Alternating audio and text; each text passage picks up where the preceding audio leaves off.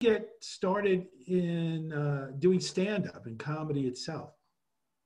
Well, I, I, as a kid, I always wanted to be a comedian and I wanted to be a comedy writer. I didn't know how to go about being a comedian because when I was a kid, there really weren't comedy clubs.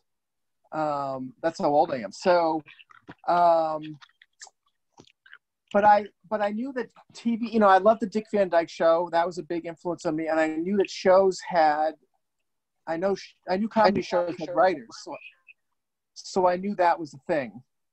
So, um,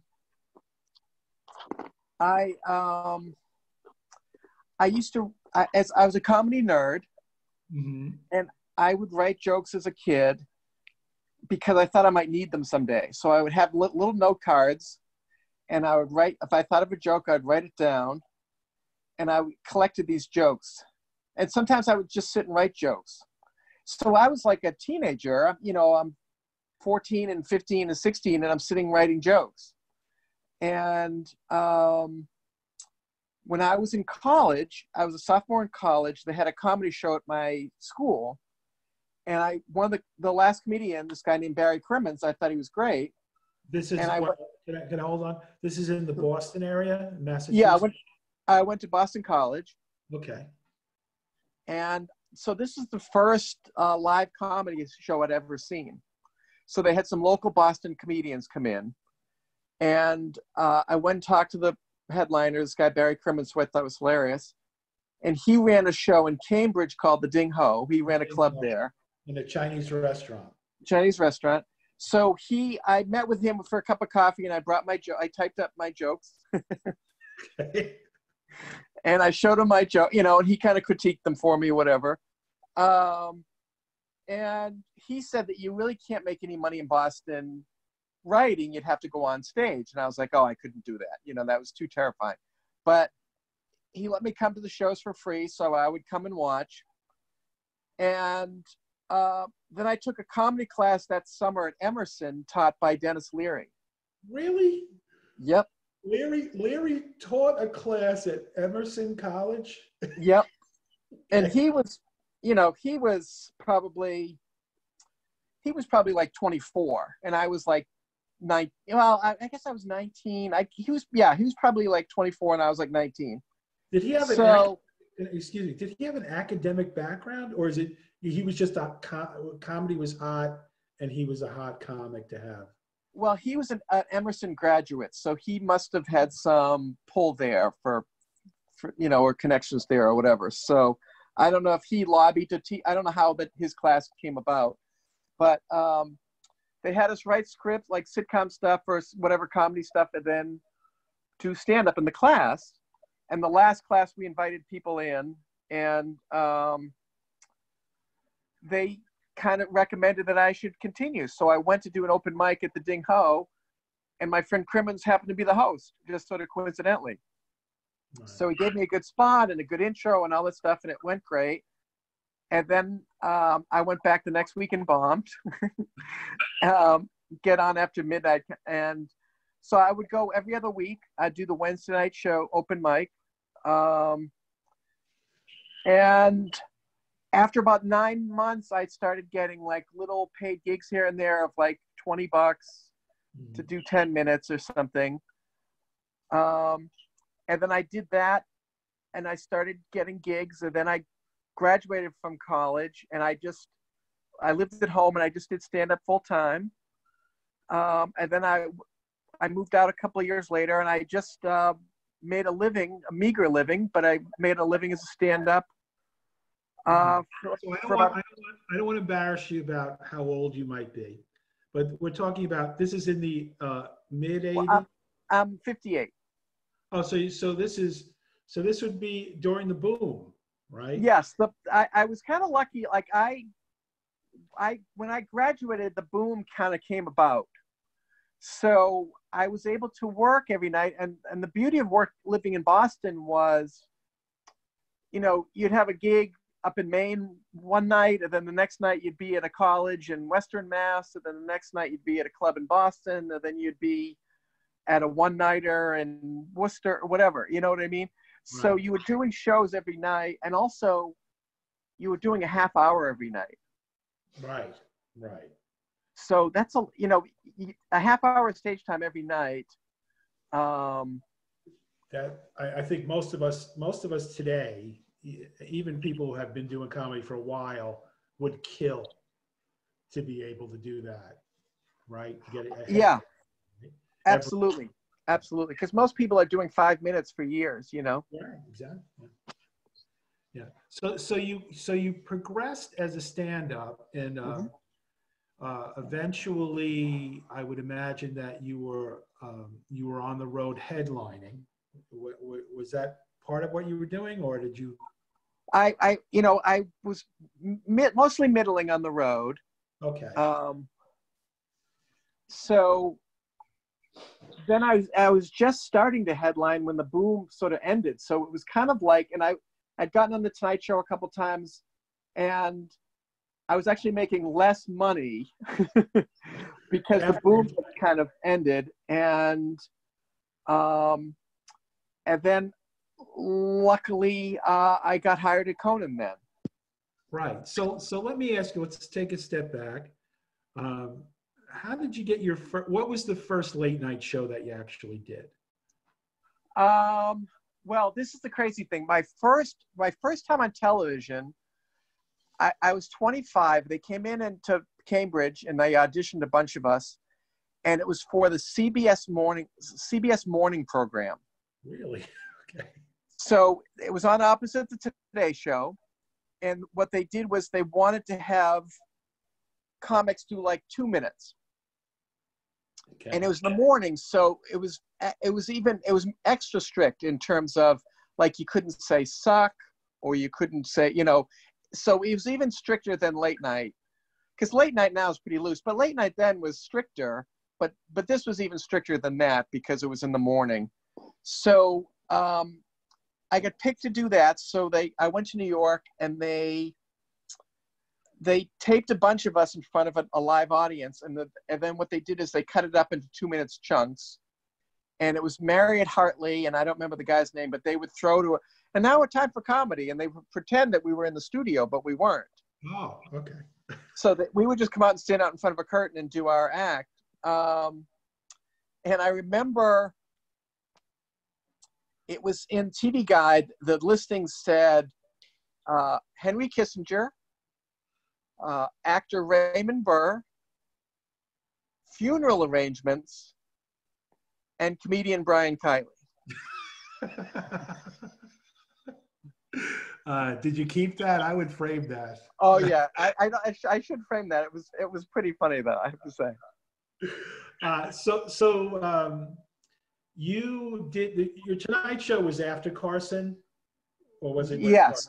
Okay. No. So my it's funny because my dream was always to do the Johnny Carson show, and I early on realized, you know what, I'm I'm really not built to be a club comic. I'm really I'm really trying to get on TV.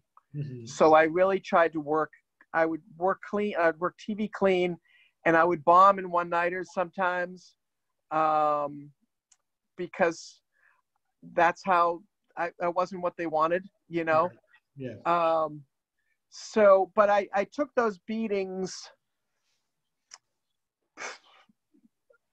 you know, just because I had that, I had that goal in mind and I didn't want to let go of that, you know? Okay. Um, and then I started getting on like I do evening at the Improv, or they did like Caroline's Comedy Hour. I did some of those A and E shows. The, the syndicated shows. Yes, yes. Um, and I did a few of those, and then um, I'd auditioned for the Tonight Show. I, I came out to LA and I auditioned, and I had a really great audition. And um, Jimmy Brogan said, "You're about three quarters of the way there." So he went through my set and he liked about, I probably had about 20, say 24 jokes in my set and he liked like say 18 of them. Really? So, I, so I went, I went back home. For the benefit, for the benefit of the people listening, uh, Brogan was uh, on the Tonight Show. Was he was he actually booking the stand-ups or was he a writer? He was. Yeah, he was booking the stand-ups. He was booking the stand-ups. I thought he, Yeah. was he also a writer on the show as well. He was writing for the show, and uh, and then they, then they had him, and he was kind of Jay's right hand man, where he would go over the monologue with Jay. Right. Okay. I want to. We'll get back to it in a minute, but keep going now. So um, I went back home, and I, you know, wrote new jokes. So I took the ones that he liked, and I put new ones in there, and I sent him a set.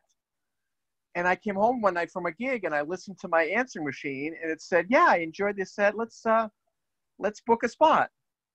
Okay. and I, I probably replayed that 20 times to make sure I wasn't misunderstanding what he was saying. I believe it. Yeah. Yeah.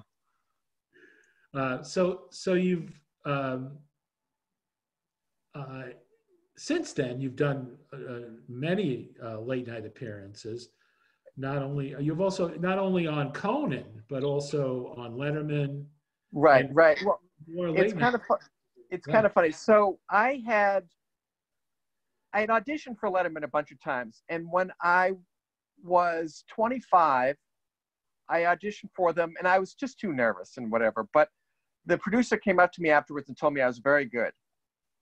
And then I got on the show 17 years later. Ah. That's all. That's all it took. That's all it took. And and when I got on, what happened? I I got on kind of on a fluke because um, Dave got sick. Dave got shingles. Dave So they got ca- shingles. So they called me up, and um, it's one in the afternoon. I'm working at Conan, and Eddie Brill, who booked the show, Right. he called me up. He goes, "This is a weird question. Can you do the show today?" And I said, "Yeah, okay."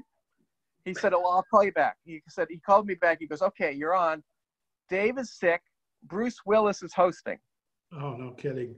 so they needed an extra act. So they didn't have enough comp, you know. So I, because Bruce Willis was supposed to be the first guest, he got bumped up to host, and now they needed somebody. So I went over there, and um, there was just I just you know there was no like okay what are you gonna do? Just I just went and just did my best Really? five. Really? That And- was. Yeah. And then when I got on a year later, you know, the intro said this guy was on before and blah blah blah. And then I went on and did my set and Dave's like, I don't remember this guy. and he's like, Well, you were you weren't here when he was here. So they would use me when somebody canceled.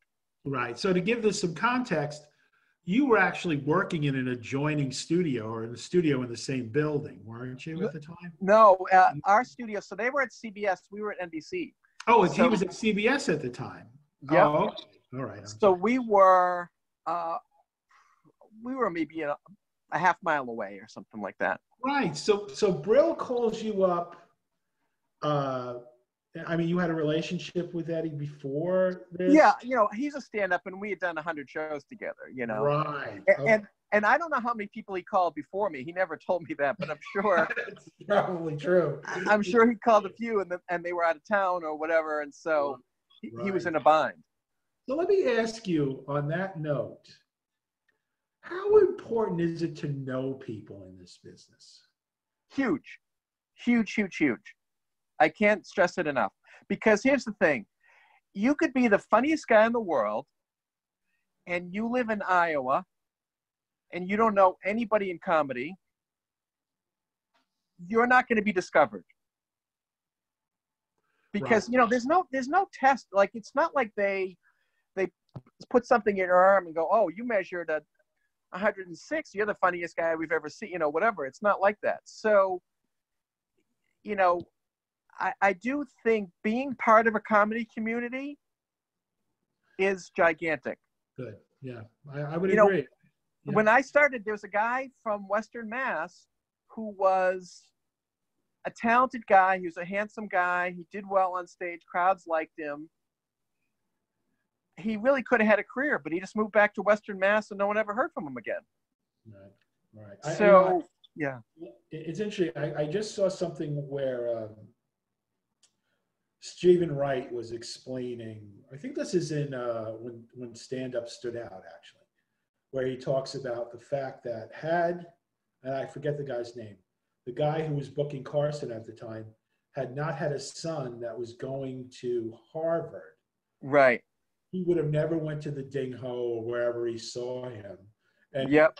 Wright would have never, his life might have went on an entirely different trajectory.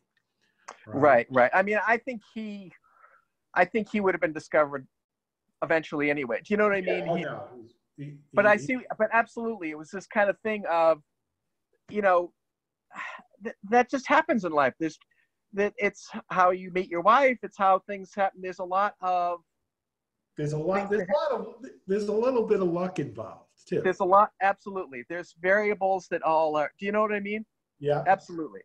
Absolutely. So so let's talk about your writing career, uh, your comedy writing career. You, so you started writing for Conan in '94.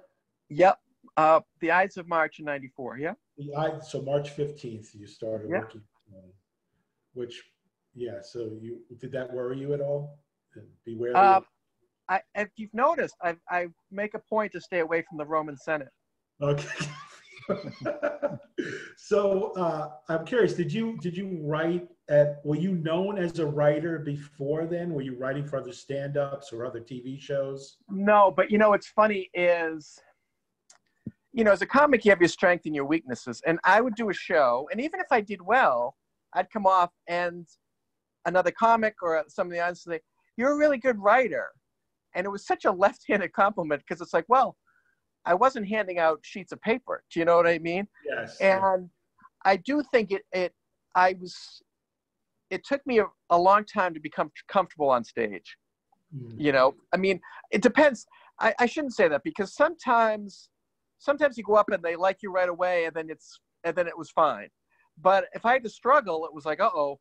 do you know what I mean? Yeah. So it took me a long time just to be confident on stage. And people recommended acting classes, which I ended up taking just not to become an actor, but just to be more comfortable on stage and, and uh, that kind of stuff. So the, the, the joke writing came natural to me.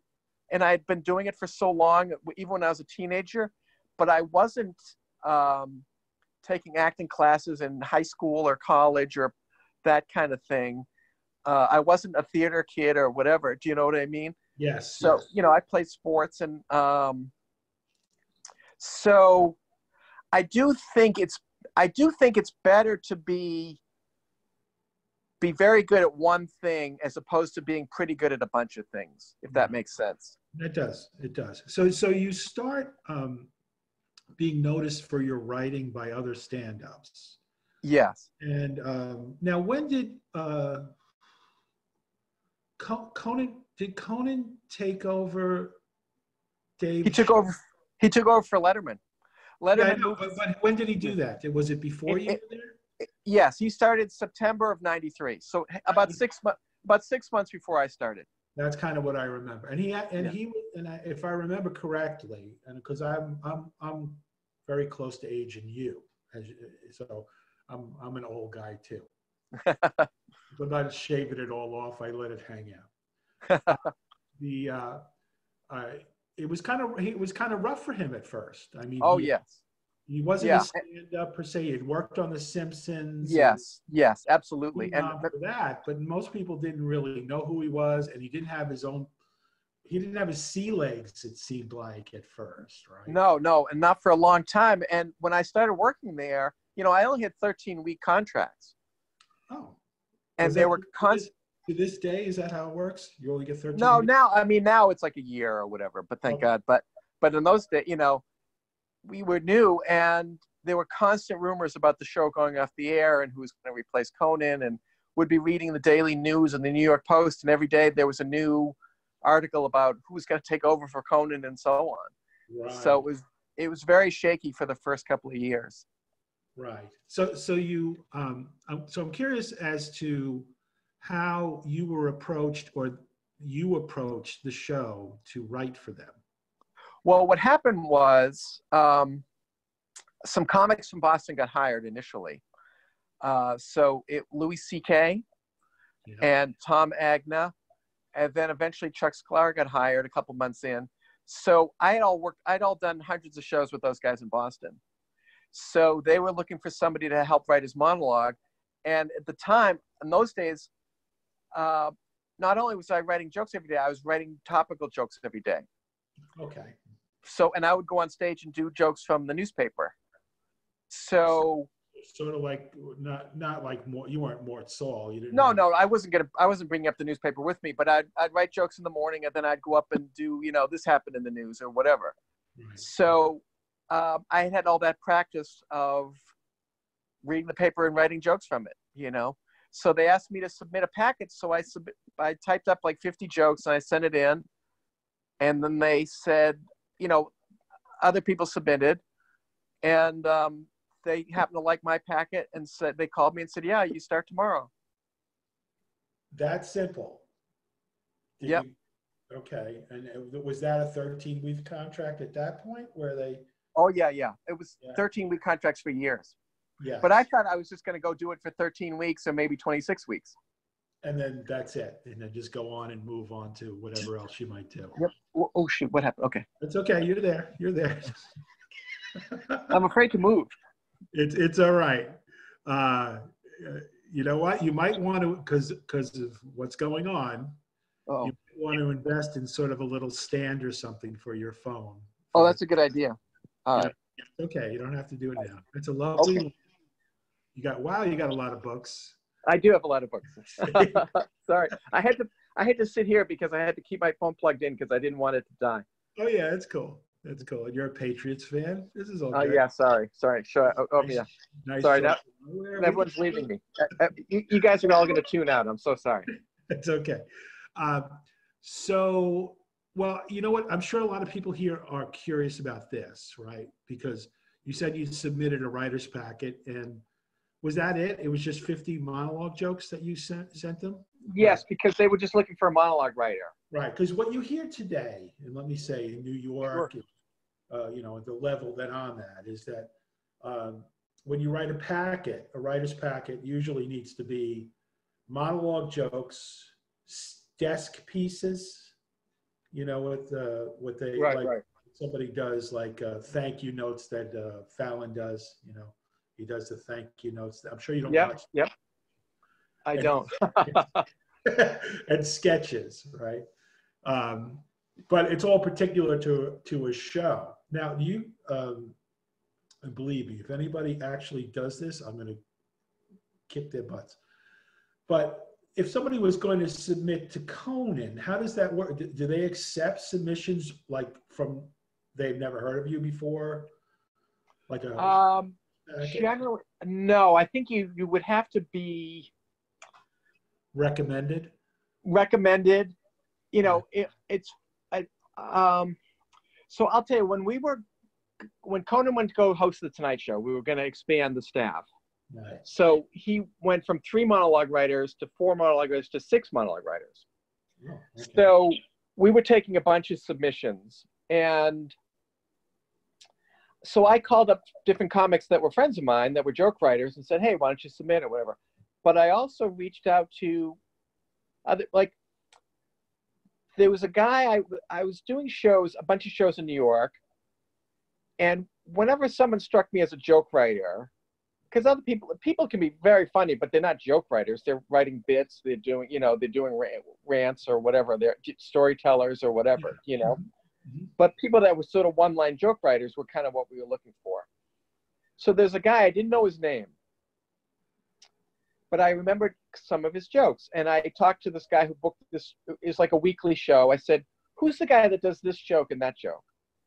So he told me his name. I said, "Can I get a hold of him?" So he gave me his email, and I contacted this guy. And we had never spoken before. And he submitted a packet, and he ended up getting hired. Wow! So it's like and but it was just it was just on the strength of his jokes. It was a, it was perfect example of what you're talking about of being putting yourself out there. I didn't know this guy's name, but I remembered that joke and that joke, and so there, so there are Cinderella stories in this scenario. Yeah, and and and here's the thing where he's a guy that because he was going on stage and had great jokes, he got noticed. You know. Right. Right. All right. So um, I want to. I don't want to take too much of your time. I do. I do have a couple of things that I wrote down that I wanted to ask you. Sure. Sure. Sure. The uh, uh, I asked most of them already. How, how many How many writers currently on the show? Uh, now I think, I think there's like nine of us or something like nine. that. So before, you know, yeah, before the pandemic, yeah. Uh, would you guys you'd all physically meet together in the same office and work uh, yes i mean we we all have our own little uh, we all have our own little offices but we would meet a couple times a day okay. you know it was, it was a little different now there's just laurie kilmartin who's a great stand-up yeah, her, amazing so her and i uh, are the only two monologue writers now okay so laurie's writing as well so she and I will write our jokes. We'll meet with Conan. Um, he'll pick the ones he likes and then um, give us some areas to write more jokes on. Right. And then we'll meet with them again. And um, then we'll meet with, you know, him and Andy and, and our head writer and we'll pick the jokes and he goes out and does them. Right. So when you and Laurie are writing, it's not like it's not like Lennon and McCarthy, is it? It's like McCartney. It's like you guys you write independently and then do you work? Yes. Yes. I mean, occasion. I mean, we will sometimes get together and brainstorm, but normally we just work in our each. Uh, we just normally work in our own offices or whatever. Right. And and how many jokes would you say on average do you write for a, for each show? Okay. Well, that's a good question. So when Conan was with the Tonight Show, the Tonight Show had the history of having a long monologue, so he felt like he was supposed to do a long monologue. So we were writing like 50 jokes a day. 50. 50. 50 and that you would have confidence in that you'd be able to say, here, Mr. Conan O'Brien, here are the 50 jokes I wrote today. I think they're funny enough to be in front of millions of people. So there were six of us doing that. So it's basically he's looking at he's going through like 300 jokes. Yeah, that's what I mean. Yeah. So, you know, it's just that was that's just too many. Do you know what I mean? Like yeah, it's too many for say. him, but it's too, like it's just too many to sit and write 50 jokes every day. Because right. and here's the thing. These are all topicals, right? Most they're all topicals. Right. And here's the other thing. If you write that many, you're you're not sort of finessing any of them. Right. You know, and here's the thing. I noticed the days I have the most jokes, it's not my best day. Yeah. Because it's like, yeah, but there's a lot of shit there. Do you know what I mean? Like yeah. it's because you're not crafting any you you're thinking of the first most obvious thing, so on. It's better to kind of ruminate.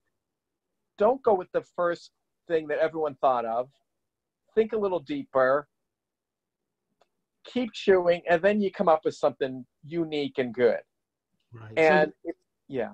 So when so when um so does Conan make all the final decisions as far as the monologue? And and and he makes all the final decisions in charge involving everything. Everything. So the producers oh, yeah. have no real say. Hey, I, I I had to run my kids' names by him. Really? yeah, he's he's in charge of every facet of the show. So, it, but but is he? He's not like you know. I know he likes to do this in sketches, right? Where he's he's a megalomaniac and yeah, oh, yeah, yeah, yeah. Like Andy Griffith in a face in a crowd, you know. Sure, sure. I love that movie. right, it's a great movie, but it's. Uh, uh, I would imagine that he has his own chops, given that he worked on The Simpsons. Yes, he... yes, and he, he will rewrite our stuff. He'll edit it out. He'll say, you know, you don't need this part. Let's take, take it like this. So he'll do that with jokes, but he'll do that with sketches too, where we'll present a sketch at rehearsal, and he'd be like, all that stuff at the top, we can cut that. We can go right into this. That's last part. Maybe you can end on this instead of that. You know, like he'll tweak everything. Right. Right. So now let me now again. I don't mean yep. to back, but the uh, is it's and I could be wrong because I I don't watch a lot of TV, but the masturbating bear. is that Conan? That's Conan, right? That was our show. Yes, I, I actually shared it. I shared an office with the masturbating bear for 24 years. you did. yeah. so Conan sees this guy. He said, I, I'm interested in how that was pitched. Like, we're to have a bear come out. I, I think what happens is so whoever pitched it in the meeting, it got a, it got a big laugh in the meeting, and then we presented at rehearsal, and it got a huge laugh at rehearsal, and then Conan's like, okay, so then when it came out, it killed on the show, and it's one of these things of the audience loved it, so we brought it back, and then we kept bringing it back because they always loved it.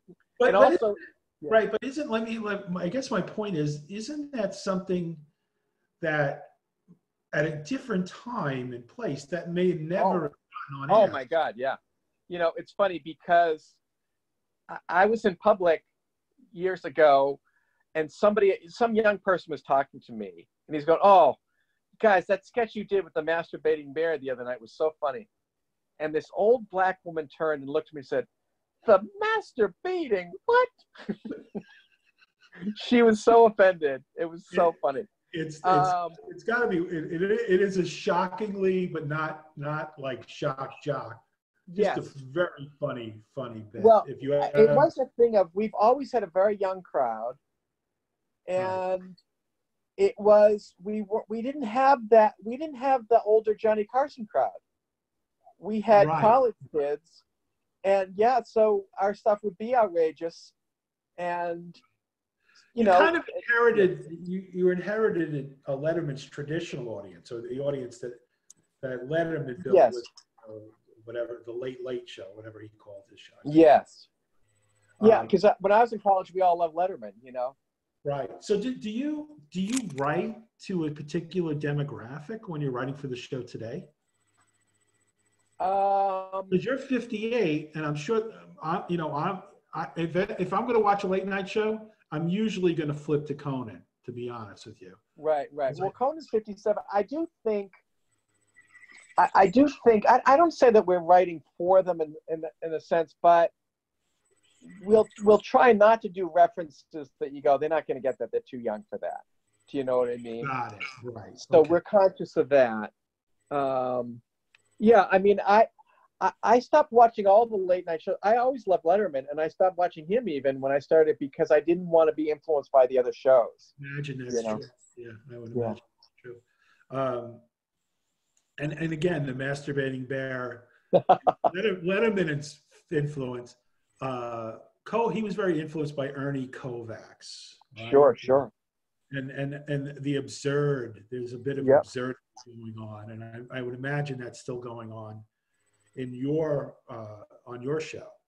Where yes, I do think we try. You know, Conan has very. It's funny because when I first started, because you know he went to Harvard and he was this brilliant guy and so on, I thought it was gonna. I was shocked at how silly he is. Yeah. And it was it was like, oh, I was not expecting this guy Right. I thought it was going to be all intellectual humor or whatever. No, it's a bunch of Aristotle and fart jokes. Aristotle yeah. wrote the best fart jokes, right? That's true. That's true. uh, well, Brian, I want I, I want to uh, before you go, I'd like to open it up to the group. Sure, sure. you don't mind? Uh, no, no. Have, I'm sure that some of us have some questions for you, and um, if you do, let's, uh, you can unmute yourselves and let's just be orderly and not give Mr. Kiley a headache. So let's just be nice. Uh, Brian? Ziggy, oh. Hello. Ziggy, uh, Ziggy, you want to say something? Ziggy had his hand up. Yeah, yeah. Um, when you were doing your stand-up versus writing for Conan, were they basically the same jokes, or was your stand-up different than what you wrote for Conan? Uh, that's a good question. Um, I, I, I never wanted to have that dilemma of do I keep this joke from me or give it to him kind of thing. Do you know what I mean? So what I would do is I gave him everything topical. So I, I lost about 25 minutes of my act right away, but I always just gave him everything topical and then I just wrote personal stuff from me. So then I started writing jokes about, you know, my kids and my wife and so on. Okay, that's a great Question. I didn't want to have that conflict. Yeah. How do, so, so do you, do you, um, um, do you separate those things physically, like when you're in the office or on Conan's time, you only write for Conan? Yeah, yeah. On his time, I'm just writing for him. Yeah, I can't imagine. Yeah, yeah. I mean, if I if I think it's something funny for me, I'll just jot it down. But but I do that all the time. You know, I just keep a little note in my phone for later. You know. Well, you know, this is a good question because um, it's very highly recommended that people um, they uh, keep a joke book, right? That they keep yep. they, they, have one repository where they try to keep all their like Larry David's very famous for this, right? Yeah. He's even got episodes of his show where he loses his notebook and it's incredibly valuable and stuff. Is it, you have it? What what what do you use as that repository? Well, it's funny because for years I just had those like like you're in junior high and just have these notebooks filled with jokes, you know. And I have I have a couple of boxes of notebooks that are just filled with jokes. Uh, I did yeah. finally switch over to computer, and so I still have a I have files in my on my computer, but I also I have that little um, whatever that thing is called, notepad or whatever, on my mm-hmm. phone and uh, or the Evernote. Evernote, right? Yeah. And because during the day you'll be somewhere and you go, oh, that's an idea, and I'll I'll keep it my I'll jot it down on my phone, and I probably do that three or four times a day still. And then later on, when I go to write my jokes, I'll I'll go to my Evernote and and go, what was that idea I had earlier? Oh yeah, that's thing, whatever, you know. Right, right, right. Cool. Uh, Ellen, did you have a question for Brian?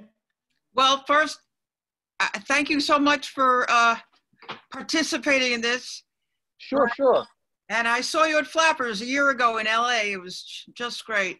Oh, thank you. I love um, your place. You get a great view there. Yes, indeed. Yes. Um, I want to try. You know, could I tell you my best joke, which which is and and because you're an encyclopedic knowledge of jokes, I want your honest opinion whatever okay. that might be. Is that okay? Yeah, yeah, yeah. Okay. Okay. All right. Now Is remember, I never, I, I, remember, I never laugh, so don't expect it. So that's I'll fine. Just, okay. I'm divorced. Mm-hmm. Every year, I like to celebrate the anniversary of my divorce. I watch my wedding video backwards. It's like an undoing. First, you see the bouquet flying back into my hand. We take the rings off we look at each other and say, Do I?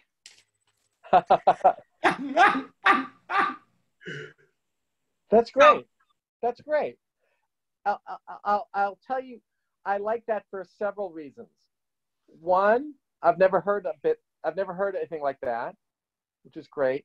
Two, so many times people tell me the jokes where you don't believe what they're saying. Do you know what I mean? Like, it's such the setup is implausible, so you're not on board for the punchline. But that but that setup is perfectly plausible. Do you know what I mean? There's no reason that you wouldn't celebrate your anniversary of your divorce. And watching your wedding video backwards is such a clever, funny idea. I, I love it. I think it's great. There you go. And you laughed at it, Brian. So I yeah. actually did. I, I had to preface it because the laughs have been beaten out of me at this point. You know. yeah, I, I get. It. No, I, I get yeah. It. Yeah, I love that. Yeah, the do I is that's a wonderful. Great, a, great. It, it builds and it's a nice image. It's great. I love it. Thank you, you, so much. Thank you. Sure. Keep up the good work. That's I love it. Thanks a lot. Don, Donna Moran. Hi. Yeah. Thank you so much, Brian. Very insightful. Um, is there are there any other women writers other than yeah. the one you mentioned? Yes, we have uh, I think we've got nine writers and three of them are women. So oh. pretty good. I mean, considering. Um, uh, it's better than most of the shows. Yeah. Uh, is, is that true? Right. Yeah. Are, are, most of the late night shows staffed by men? Um, it it's it's become. It used to be when I started. It was almost solely men, hmm. and um, it's you know it's changed over the last 20 years. Yes, I would say. Okay. But in fairness, in the old days, like if we had a job opening and we got 100 writing packets, maybe three of them would be at women. So right. it's a 97% chance a man's going to be hired. So and, and, now, Yeah. Now it's much more even. Always, there have always been women, like Rose Marie on the the uh, Dick Van Dyke Show was a woman and uh, Carol Leifer didn't she write for sure. uh, for? Uh, she wrote for Seinfeld, yeah, and yeah, I think she Seinfeld. she write for Dave too. I'm not sure. Uh, but uh, you know, Merrill Markoe used to write for Dave. Yeah, Merrill Markoe, right? Yes, right. Yeah. Very sure. She didn't she Great. Write, she came up with the top 10 list, I think, or she was one of the people that came up. Oh, wow. Okay. I'm, I'm not surprised. She's really very creative and very yeah. funny. Uh, Joyce, did you have a question? Hi, uh, nice to meet you. And again, nice thank you for your time.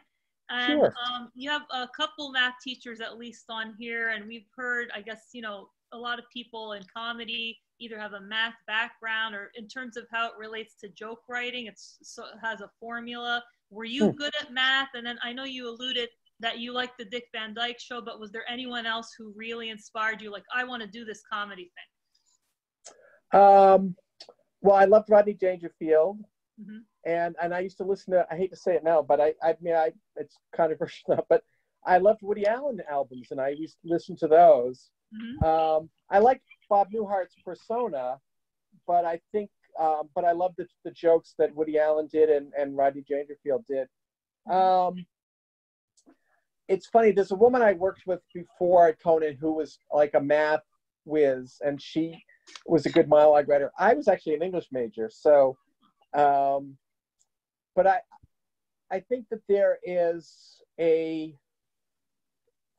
joke writing, there's a sort of a brevity and there's a crispness that's almost like a math problem, I think, for some. It depends on how your mind works, but I think that there needs to be a certain logic to the joke, I guess. Right, right. And yeah, right. And there's, um, there's a, there's a, there's a disproportionate number of lawyers in comedy, from my experience. Yes, there are there are a lot of lawyers, and I wonder I think there's a lot of teachers and there's a lot of lawyers, and I think some of it is those people are just comfortable being in front of in front of crowds. That is true, but like like I'm thinking of some some of these uh, lawyers turned comedians in particular uh, make very logical arguments as part of their jokes, right? Yeah, yeah, that's true. That's how their brain works. Yeah, I, you know, um, yeah, absolutely. So, so to your point, Joyce, I mean, I think um, if you were a, a, philosophy, if you study philosophy, you're going to study logic, right? And there are rules to logic that are very similar to math. Yeah. And that's probably how it applies and gets it. But Greg Giraldo was a lawyer, and um, right. I work. Yeah, um, you know Al, Al, Al Lubel and yeah, Al Lubel Mike and Sweeney, who works on our show. Yeah. I know Al Lubel very well, and I got to know him very well. And uh, what an extraordinary, I mean, amazing uh, it was like a puzzle. He was solving puzzles all the time. Yes, yes. I do think you also have to be a little bit uh, obsessive. Yeah, well, he he was that too. yeah, yeah. No, I think I think I think being obsessive can be a problem in life, but can also, for joke writing, it's a good way to be. This is true. This Thank is you. Excellent. Sure. Right. Anyone else have a question? Uh, Ziggy has another question. Go ahead, Ziggy. It's almost a follow up to the first one. If you didn't have to worry about giving jokes to Conan and you were on stage, would you be doing one liners or would you be talking more about your family and personal stuff? Like I've heard some people say, the one liner thing that's old school forget about it now it's it's all personal stuff how do you feel about that well i do think that the uh, if you watch a lot of late night stuff now it has become more about the narrative and you know, the problem is it's very hard. Like I see people that are great storytellers and things like that. I just don't know how to do that. So, um, it, it, you know, I've had to kind of go with my strengths, which is just joke writing. And, and early on, I tried to do some observational bits or stories or things like that. I just wasn't good at that. Um, I do think now, if you watch a lot of late night sets, a lot of times it's more about their personal story and you know sometimes you have a comic in there from syria and it's like oh i'm glad they got out but you're not necessarily laughing that much right, that, that's an interesting point right or uh, you know, what uh, Kimmel's kind of famous for in the last couple of years is like crying during his monologue. I don't know if you're familiar. Oh, is that, does that work? Uh, well, it, get, it gets media attention. He, he basically cries about how uh, how much he hates Donald Trump, but he literally goes gets to tears sometimes, uh, and it makes the news. I'm glad wow. you don't. I'm glad you haven't seen it because I don't know. Did, did someone pitch that in the meeting? I guess I would.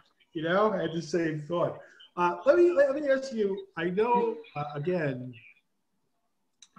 I'm sure that it it's evolved, but you know, like Carson would have sketches where he'd have he'd come out and be like the Vegematic guy, or he'd do sure. a parody, and it would all be on the stage and all live and usually involve big-breasted women, and that was like his thing.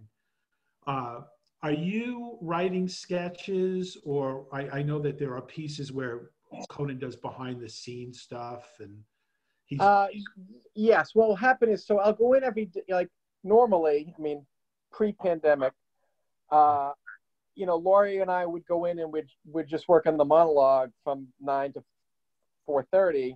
Right. But then once the show airs, then we would pitch some sketch ideas after that.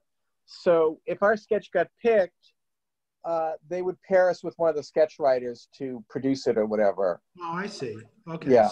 So, and because sometimes we just didn't have time because we had to write that day's monologue, so we couldn't hire actors and do the sketch and whatever, you know. Right. So it's so it's it's rather siloed what you do. I mean. Yeah. Yeah. And well, that's interesting to know. But it is it is fun to come up with a sketch every now and then. Yeah. Right. May I ask? Um, you you're currently producing this show, uh, and is it is it? And I haven't watched it. I'll, I'll make a point. if I can stay up that late. I'll make a point to watch. It. but is Conan doing it from home? Uh, how is it happening now? Um, well, I don't know what you mean by me producing the show, but um, no, I mean, I mean, uh, is the show currently on? Are you doing shows? Oh yeah, yeah. And he's That's yeah. He's, so he's doing it from his. We're pitching him ideas, and he's doing our jokes and our things. It's all from his camp, from his phone, from home. Really? So yeah, so we have to pitch things that that he can shoot by himself at his house. You know. And are you guys? Um, and again, this might bore a lot of people in here, but the logistics of that are, are there um, technical people helping him at home? Or? Well, you know, they, they he's isolated, so they will.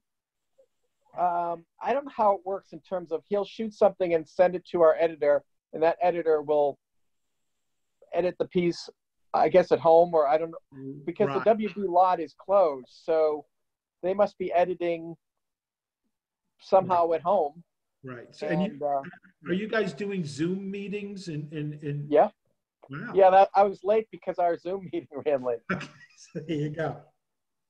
And that's why we all had, we all ended up putting silly names on our thing. That I don't even know what my name says now, but yeah. Uh, I could tell you it's iPhone U M U G. Oh yeah, yeah, yeah. I don't know.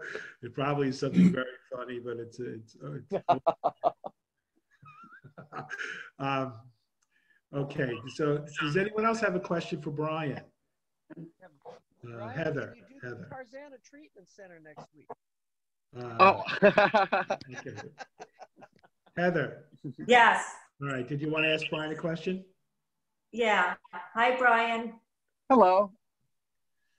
Oh, I don't see you anymore. Oh, can you see me? Okay, Uh-oh. there you are. Sorry. Um, hi. So the whole thing about you know you have to know people so what if you don't because you're not in la or you know you don't have connections and you want how do you get your foot in the door? Um, well you know we do live in a very connected society now. So there was have, there's a woman named megan amram. Have you ever heard of her? No. So she she was she was one of the first she was in a, she had this twitter account that she was creating great joke after great joke and so people noticed her Twitter account, and she ended up getting hired for t- uh, for writing for television, just based on her Twitter. So there are things now where, you know, you can produce something on Twi- you know, Twitter or Instagram or TikTok or YouTube. Mm-hmm. Um, you know, people are able to create good content from their home and get it out to the world. And if things get retweeted and reposted and re whatever, people can, can you can kind of build up a little bit of a name for yourself with that. Right.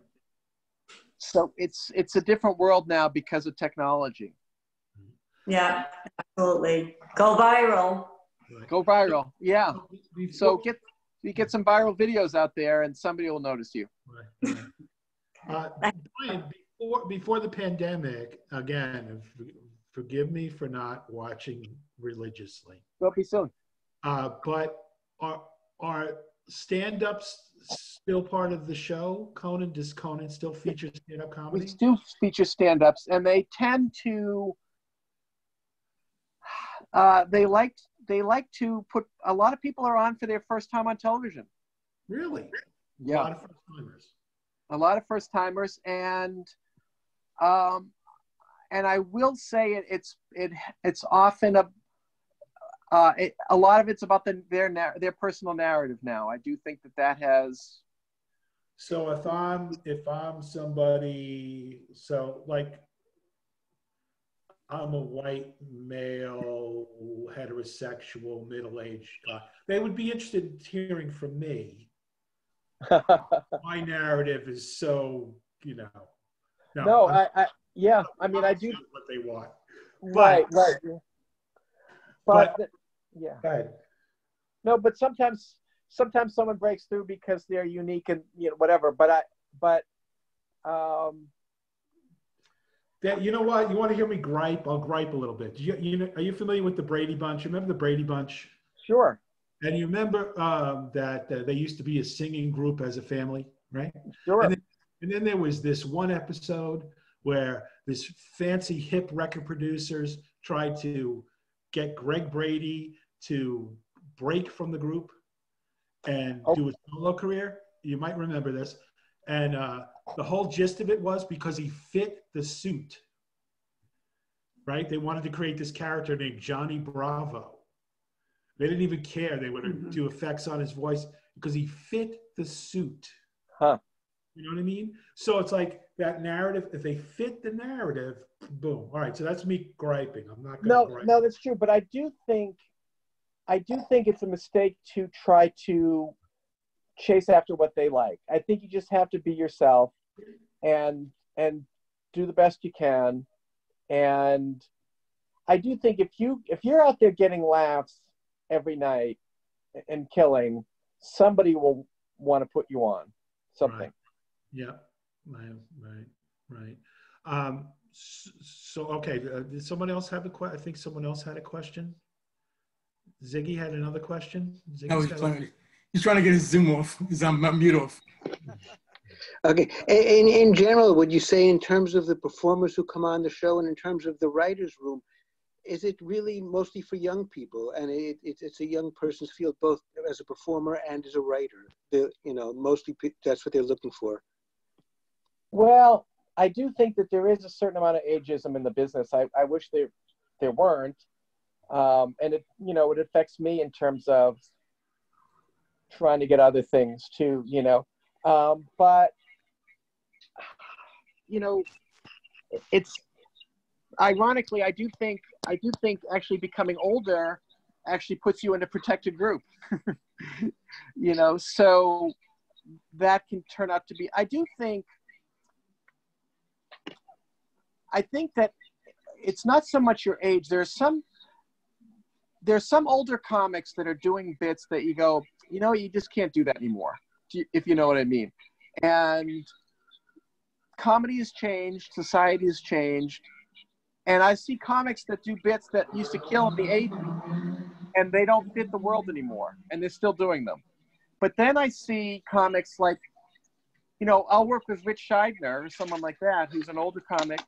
He's got funny new stuff, it's relevant. It's not it's not dated. It's it's great.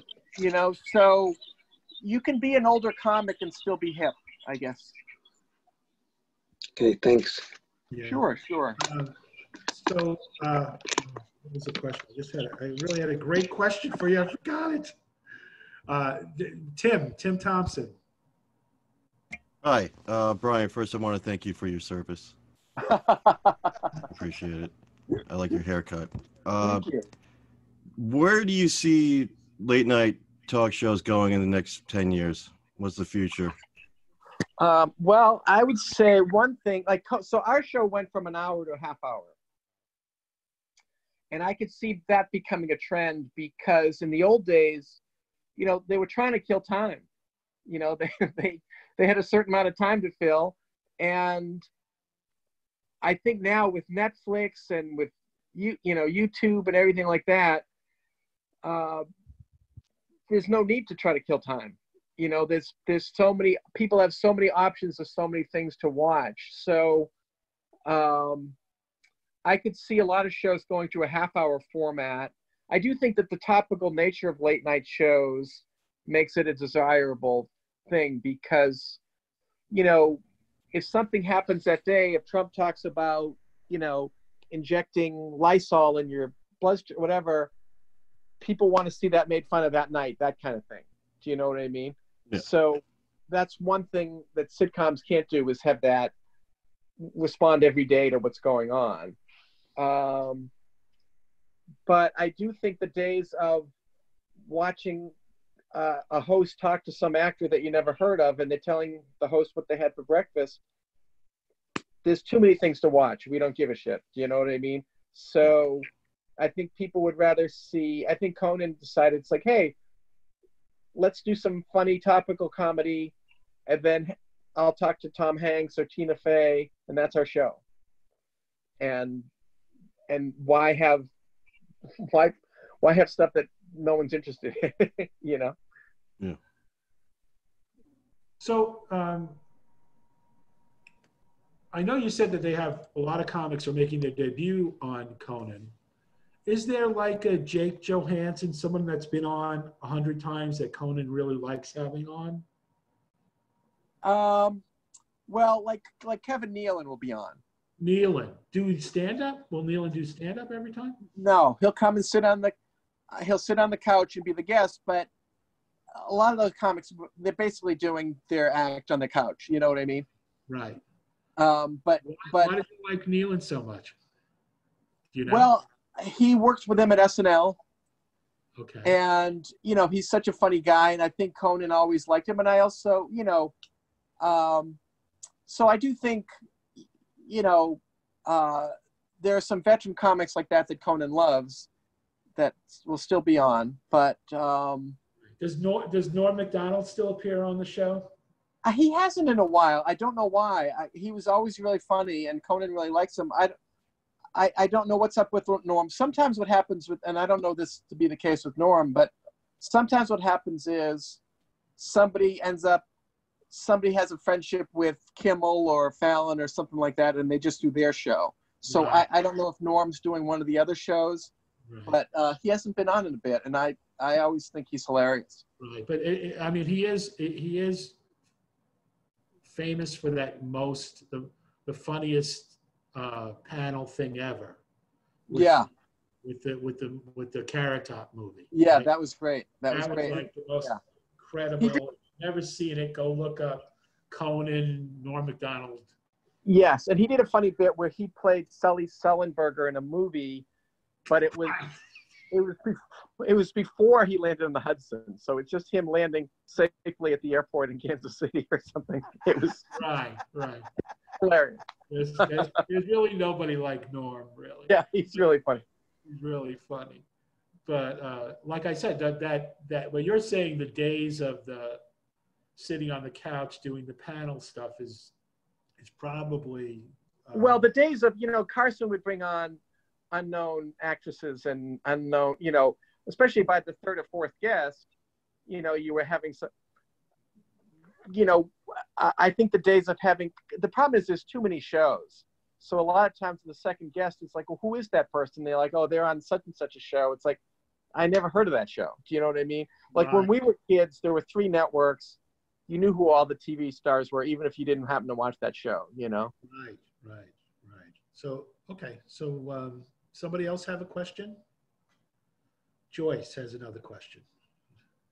As we're talking about age and all these things, um, I just looked up. I, I know I think Conan had a background in improv or de- definitely a lot of uh, you know experience with that. So in terms of your show now, like obviously if you're joke writing or sketch writing, there's more of an element of control there versus improv. Is there ever uh, room for improvisation in your kind of format, or do they stay strictly to the script? Uh, that's a good question. It's usually um, we'll have some sketches that kind of go off the rails a little bit, if that makes sense. Mm-hmm. Um, and so um, it's good to have, you know, we have a lot of sketch performers on our show and improv, and so they usually have an improv background. So sometimes if the sketch goes off the rails, they'll kind of go with it. Mm-hmm. Um, and as opposed to an actor who's like, wait, I only say my line, you know. So they'll kind of know, okay, this has gone off the rails here and they'll kind of go with it. So that that having that type of uh, training does come in handy, I would say. And I, I mean, you also look at shows now like Curb Your Enthusiasm, and some, there's some other shows that it's all uh, it's a lot of it's improv, right. you know. Right. Thank you, Brian. Sure, sure. Um, someone else have a question? Uh, Ziggy, go ahead. Could could you talk about how great it was and what how Conan got the Tonight Show, and how horrible it was when Jay Leno kicked him off uh, and, and took it back. wait, what, wait, what let me make sure. I, I got to check TMZ if they're if they've got a live hotline. Go ahead. um, it was all those things. Yeah. Yes. Uh, yeah. I, I mean, you know, I, I, guess I don't know what to say about that. It, it just, um, it was an unfortunate thing, and it was a blow to us, and, and it cut, totally cut us off guard. But, um, you know, I think what happens in our show sometimes is people come on and they reference that to Conan, and Conan will kind of say something and move on, and then some critical on, on the well like oh conan's still talking about that. It's like he's not talking about that. You know what i mean? Right. Somebody else brought it up. Um, so i think people think that we're we're in our offices still stewing about that 10 years later or whatever and it's like you know we've we've got a show that we love and we're just enjoying doing that and, and i don't think we really i don't think any of us are really dwelling on on the past like that you know and, and, and, and I think Jay has finally found his stride with the car show. Well, you know, I, I'm assuming he loves that. I, I don't know what to tell you. Ah, uh, he's, yeah, it's a pretty good, it's actually, it's one of the few things I watch on YouTube pretty regularly. He's pretty good. He's really good at that. He really is. Well, good. he's, yeah, I know he's, a, I know he's a car nut, so I'm sure he's great nut. at it. He's a car now. I'm sure you see him driving around Los Angeles all the time. I, I do see him every once in a while driving around. You know, he's always in a crazy car. So, yeah. Right. Can I ask a quick question? Sure. How do you jump? Are there days, you know, where you want to ju- might feel the need to jumpstart your creativity a little, or just? I'm not uh, trying to ask anything personal, but it just in terms of technique or process, when you want to get the wheels turning again and the juices flowing, how do you do uh, that? Well, that's a good question. I, I, there are some exercises that I'll do. One thing sometimes I'll do is, especially if I'm just writing for my act, for myself, I'll just write down a bunch of true statements with no joke, just just a bunch of true statements. Or sometimes I'll I'll write down a bunch of areas, like um, going to the dentist, or you know. Um, visiting my son at college or whatever. Do you know what I mean? Just a bunch of areas. And then sometimes, which I think there's got to be something funny about this or whatever. Do you know what I mean? Um, I sometimes will flip through the dictionary and look at a bunch of words and see something and that triggers a joke. Um, so I do that from time to time. Thank you. You know, to sure. that point, Brian, um, when you when you go into the you drive into the office, you're there, I guess, five days a week or whatever. Yeah. You get there at nine o'clock. You make your coffee, uh, and you're sitting in your office. I, I mean, are there days where you're just staring at a blank screen and nothing is coming to you? Sure, sure. But I, you know, it's luckily now there there you know there's so many news sites you can go to cnn and usa today and google news and newser and bbc.com and abc news and cbs all those things you know what i mean right. so if you just keep digging then you usually see something that you go okay this i can have fun with this okay so you so you try to make it uh you want to you want to be amused is this is a good question. I thought of one. If something amuses you, that is where you'll go, right? If you think, if you have a thought, it goes, that's funny. You don't think about, oh, the people will think this is funny. I think this is funny. Well, I do think there's something, there's a lot to be said, and I do feel like this was stand up too, that you have to think it's funny first. If you're writing a joke that you think, I don't think this is funny, but they'll like it, I think that's a bad way to go. And I've known comics that had strong acts that didn't like their act. They go, oh, I don't like my act. It does well. I don't like it. It's like, that must be torture to go on and do an act that you don't like, you know? So um, I, I also think, you know, sometimes when you're looking at the news, some of the topics, either they're too depressing or they're too dry. You know, if it's about unemployment figures or the NASDAQ or something, it's like, you know, you know, it's it's comedy, so you want something that's a fun area, you know. Uh, Janet. Uh, first, thanks so much, Brian, for uh, sure, sure. you know being so generous with your time. And I've learned a lot here. I just was wondering, like, what type of things block you at times, and then how do you go about unblocking. Like if you've got to go into work and you've got to, you know, you've got to write up these, you know, jokes and these monologues, and then you come in and you're just in like a funky mood. You know, like how sure. do you get out of that and get into what you need to get into? Um, sometimes, sometimes I'll put down some jokes that just to get going, just to have something on the page I'll put down some jokes that I know are lame just to get me going. Do you know what I mean? Like, yeah. you can't just sit sometimes and just wait for the perfect joke. It's like, all right, this is a stupid one, but let me put it down and get it out of my head and then go on to the next one, that kind of thing. Um, I do think that there's, you know, there was some uh, Philip Roth book with a, with a character as an author, and he was saying that that uh, amateurs wait for inspiration and professionals just write. So you do have you do it's like anything else, you're just building up that muscle. Mm-hmm. So you know you can sit down and in an hour you're gonna write 12 jokes or whatever just because you do it every day and you know how to do that. Does that make sense? Yes, that's awesome. And that was a great quote. Yeah. Uh, now, uh, Brian, forgive me if I'm wrong about this because I read your bio a couple of times and you're very um, what's the word? Uh, I'm bald. Yeah, you're bald. so, so uh, you've written you've written other things than jokes, right? Have you written? I have, yeah. I, I, be, between the Tonight Show and the the new show, I, I actually wrote a novel. Yeah. So do you, do you, what was that experience like? How was it different from writing material? Oh, it was you know because I'd always I'd always thought of in terms of television, and I've got to write clean, and it's got to be this, and it's got to be, you know, whatever. And writing a novel for me was very liberating because I had characters. It was very dark, which I didn't know was gonna. I didn't know I was gonna write so dark.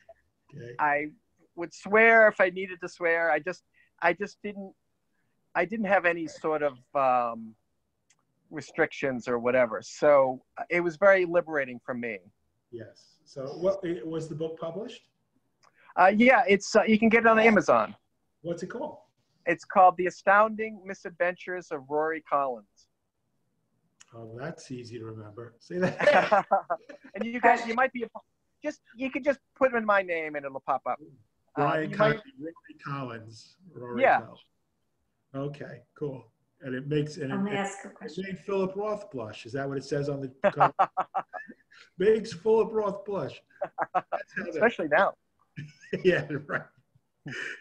Heather. Can you hear me, Heather? So I just wanted to ask Brian. Yeah, you can't hear me? You yep, hear you. Now you're on me. We hear you now. Now we can. Unmute yourself. Now, now we see the other side, your other camera on your iPad. You got. All right. All right. I was trying to get just to see Brian. Okay. Sorry. Sorry. That's okay. Hi again. So if Conan ended tomorrow, what would you do? Um, That's not too. Um, uh, I would move to a smaller house.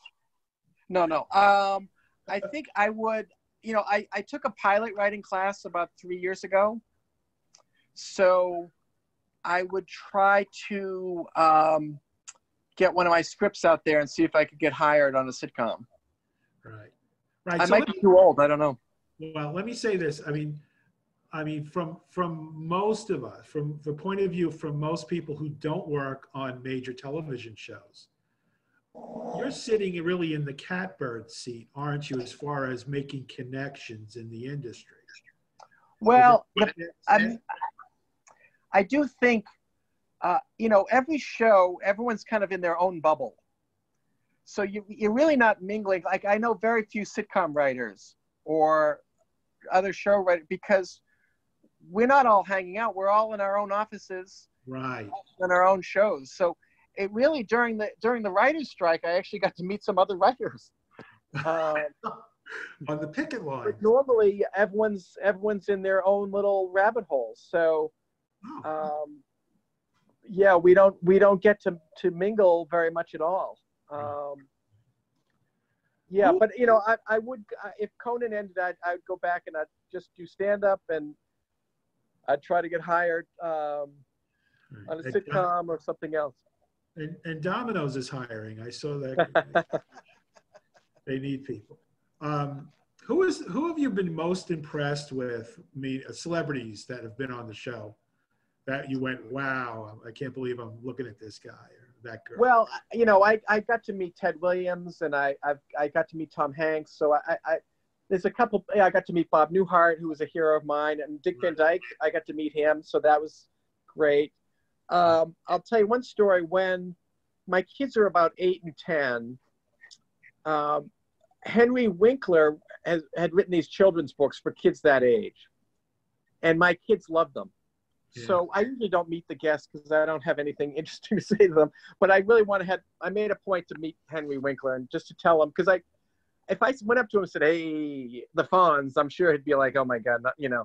But I had a feeling that this was something near and dear to his heart, his children's books, and you know, I had read some of them to my kids, and they loved them, and I just told them how much I appreciated his kids' books, and unbeknownst to me, he got my address from our producer, and about a week later in the mail, we got three books from him that were signed to my kids and so on. So it's very nice. It's very nice. Fantastic. So I always say P is my favorite guest when people ask me. That's awesome. That's awesome. All right, we're gonna we're gonna wrap it up in a minute or two. So, is there anyone that has a last question that they'd like to ask Mr. Kiley? Do you have a favorite joke, either one of your own, that you're particularly proud of, or it's particularly dear to you? Or another joke that you've heard that you treasure would give us, you know, one of your very favorites? Um, I guess uh, there's a couple, uh, you know, there are jokes from my act that are near and dear to my heart. I think there are a couple of jokes I liked for Conan when I was first there. One of my first jokes I ever got on, uh, Prince Charles' dog had run away and they were looking, was missing. And we said he, Uh, he's got a brown and white coat and floppy ears. Uh, no word on what the dog looks like. and because that was one of my first jokes I got on, that that always stuck with me. That's a great joke. That's a fantastic joke. Uh, Debbie. I have a question if it wasn't asked already. Okay. Sure. Yeah. Is that really your bookcase behind you, or is that just a? Uh, uh yeah. Sorry, this is my this is my little study. Wonderful. I love it. Put the candle back. No, no, mind. I, I had to plug in my phone next to the thing, so I usually don't use this as my backdrop. Sorry. No, that's that's that's wonderful. Well, Brian, it, has been a, it's been an extraordinary pleasure to have you join us today. We well, I had so much fun, and you know what? I will. I have to say, the fact that you guys have this group, and that you're that you work together is such an important thing. It's really it's good to be part of a community. Thank uh, you. It's, it's so hard to be successful in comedy by yourself. So it's great that you have this. Um, I love it. Thank you so much. We really enjoy it. We really enjoy having having had you and uh, other folks that like you. On. Sure, sure. I hope to meet you guys in person sometime. Yeah, right. When you're in New York, look us up. And I said hi. And we okay, have some, we have some LA people here. We have. Yeah, yeah. I know Chris is there, and and uh, yeah, absolutely. So, uh, and I think I've met yeah, I've right. met one or two before. All right. Well, nice okay. to meet you guys. All right. It was nice. Thank you. Thank you. Bye. Bye, guys. We're going to do this again tomorrow morning at 10. So anybody that's interested, please keep your eyes out for the email. It'll go out sometime tonight or early tomorrow. Okay? Thanks so Thanks. much. Thanks, Rob. Good night, everybody. See you, see you on Monday. That's my next time I'll be on. All right. Okay. See you, Richard. Bye.